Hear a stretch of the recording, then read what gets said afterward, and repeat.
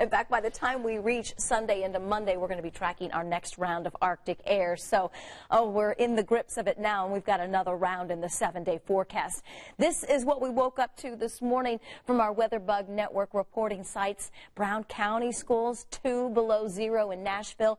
Sharpsville, minus nine. Minus 10, Bunker Hill and Peru High School, eight degrees below zero. Good thing the kids were home today.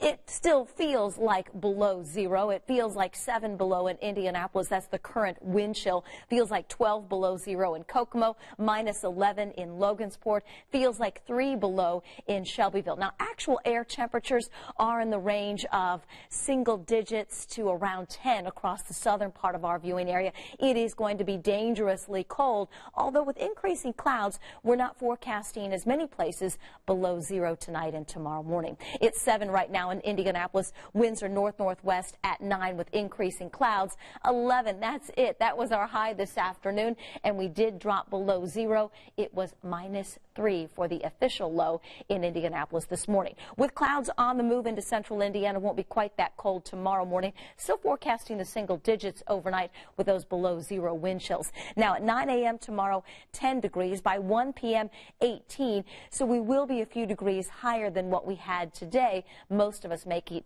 it into the upper teens and low 20s.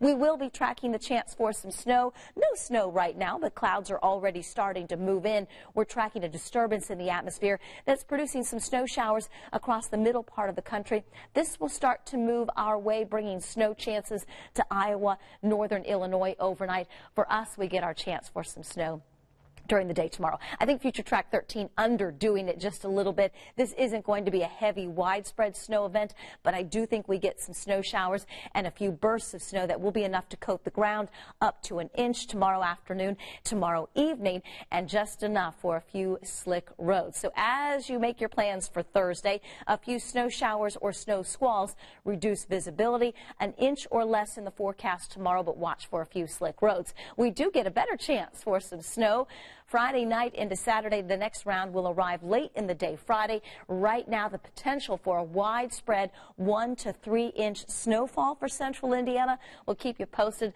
on the timing and the totals as that weather system gets a little closer to us late in the day on Friday. A few snow showers will start tomorrow in the single digits, high 24, 27 on Friday. Snow arrives Friday night. It will stick around through probably midday Saturday. And at this point, at least a couple of inches in the forecast. We'll keep you posted posted on uh, any changes. 16 for a high on Saturday will be in the teens. Sunday into Monday into Tuesday. And with this next round of Arctic air, we'll get another couple mornings below zero in the seven day forecast. All right.